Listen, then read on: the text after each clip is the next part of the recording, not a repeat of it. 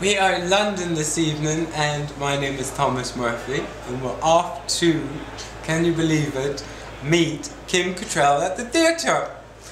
It's her birthday, and there's one minor detail.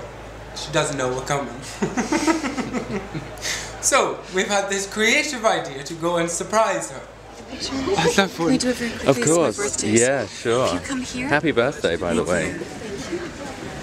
There you go, and click. There you go. This is still. Thank you, Kim. Happy birthday to you. Happy birthday to you. Happy birthday. Happy birthday